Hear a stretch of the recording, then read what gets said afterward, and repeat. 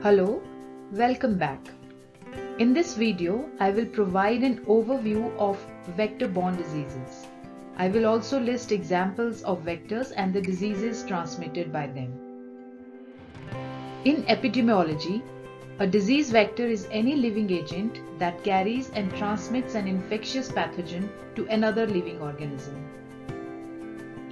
The first major discovery of a disease vector came from Ronald Ross in 1897 who discovered the malaria pathogen when he dissected a mosquito. This image shows a red blood cell full of malaria pathogens. In order to be called a vector, the living organism has to acquire the disease pathogen from the reservoir that can be an animal or bird or an infected human and then carry the pathogen in its own body to transmit it to another susceptible host that can be a human or an animal.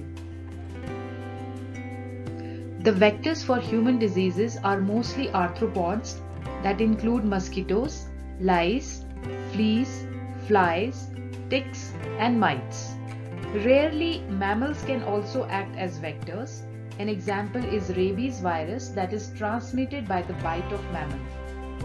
You won't find many other examples of other species acting as disease vectors.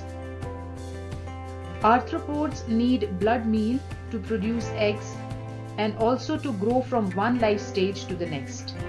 They get this blood from biting animals and humans. If you look carefully at these arthropods, you can see that their bellies are filled with blood. Many animals act as disease reservoirs from where the arthropods acquire the infectious pathogen during the blood meal. When these arthropods bite a human, the infectious agent is transmitted to them. They can also transmit highly infectious organism from one human being to the other. The pathogens have learned to adapt in such a way that they do not manifest disease in their vectors and reservoirs, which are essential for their transmission, but when they enter humans, they cause a disease. These arthropods are causing disease transmission and frequent outbreaks throughout the world, more commonly in the developing countries. These are examples of some of the deadly vector-borne diseases. It is therefore important to know more about these vectors so that we can avoid, control or eradicate them. Arthropods have different mechanism for transmission of pathogen into humans. The mosquitoes secrete anticoagulants in their saliva during their bite. The pathogens reside in their salivary glands and when they take blood meal, they are directly deposited in the human blood through their mouth parts during the blood meal. This is a sandfly and it is a pool feeder. It chews a hole in the skin of the host and feeds from the blood collected in that hole. Sandfly is responsible for the transmission of leishmaniasis also called Kala Azar. Leishmania parasite are present in the saliva of sandflies and are left behind in the blood pool from where they enter the tissue and blood vessels of the humans.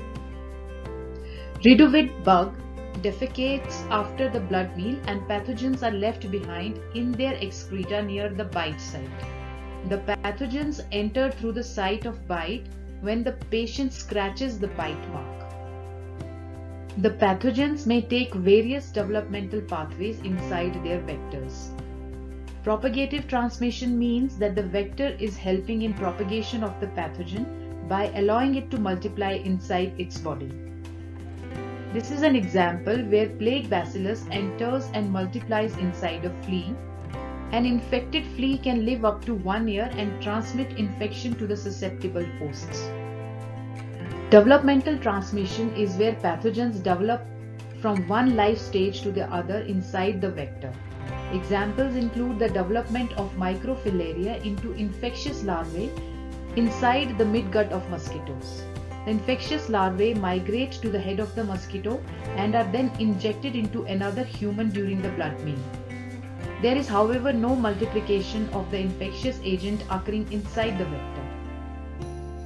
Cyclopropagative transmission is a combination of propagation and developmental processes inside the vector. Example is malaria parasite development and propagation inside the mosquitoes. mosquito acquires gametocytes during the blood meal. These gametocytes fuse to produce a zygote that develops further into an oocyst in the midgut of mosquito.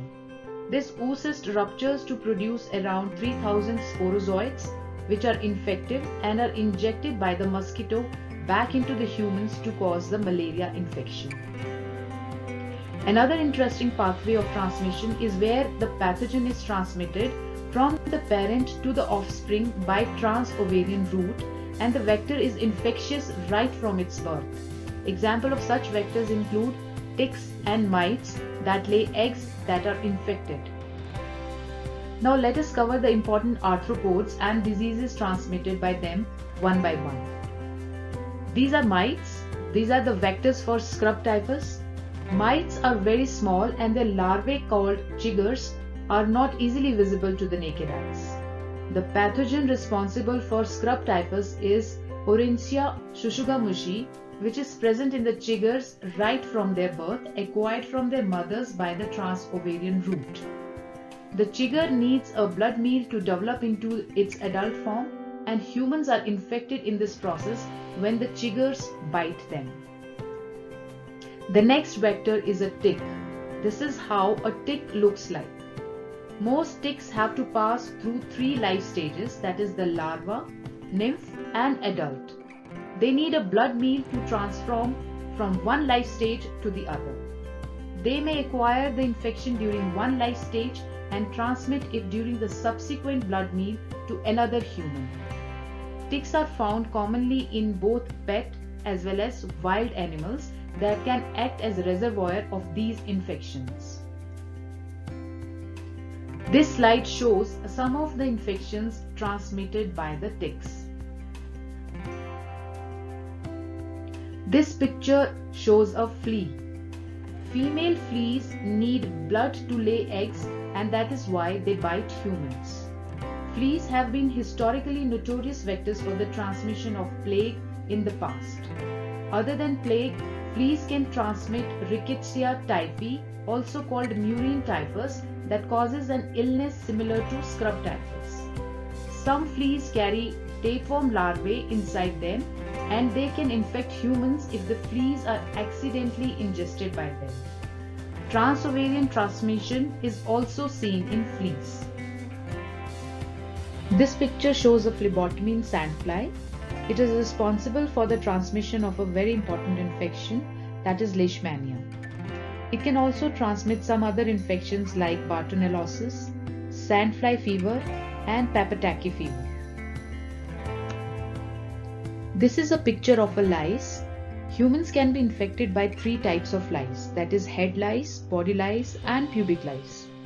The body lice are known to transmit some deadly infections like epidemic typhus. This infection was common among the troops that used to live in the barracks where lice infestation was common. This infection is thought to be the reason why Napoleon had to stall his military campaign into Russia. Lice can also transmit trench fever caused by Bartonella quintana, and relapsing fever caused by Borrelia recurrentis.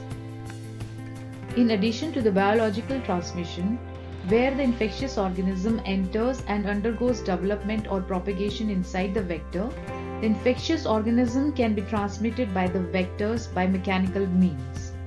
In mechanical transmission, the organism resides on the outer body parts of the vector. Example includes the houseflies that can mechanically transmit several infections that are given in this list. This picture shows a reduviid bug that is responsible for the transmission of trypanosomiasis or Chagas disease. This is a picture of tsetse fly that transmits African sleeping sickness or trypanosomiasis. Anopheles mosquito can be identified by the angle its body forms against the horizontal while sitting. It's responsible for the transmission of most dangerous form of malaria that is Plasmodium falciparum. It can also transmit filariasis and O nyong fever. Another important mosquito genus is Aedes. It is also called the tiger mosquito because of black and white stripes on their body and legs. Aedes mosquito originated in tropics but is now found in all continents except Antarctica. It is the vector for dengue, chikungunya, West Nile virus, St. Louis encephalitis, Dirofilaria immitis and yellow fever. It bites rapidly and escapes most attempts by people to swat it.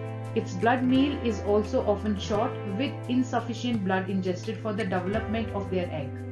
This is why Aedes mosquito bite multiple hosts before laying eggs, making them particularly efficient at transmitting diseases.